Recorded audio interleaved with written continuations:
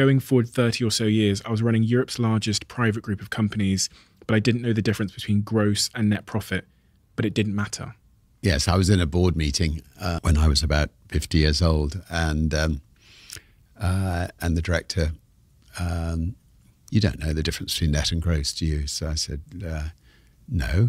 Um, uh, he said, I thought not. Anyway, I brought a sheet of paper. So he brings out this sheet of paper and then he, he colours it in blue and then he puts a fishing net in the um, in it and then he puts a little fish in the fishing net and he says, um, so the fish that are in the net, that's your profit at the end of the year, and the rest of the ocean, that's your gross turnover. I went, uh, got it. And, uh, but the point of the story is, it really doesn't matter. Uh, it's a good idea, most likely, if your chief accountant uh, knows. But for somebody who's running a company, what matters is can you, you know, can you create the best, um, the best company in its sector?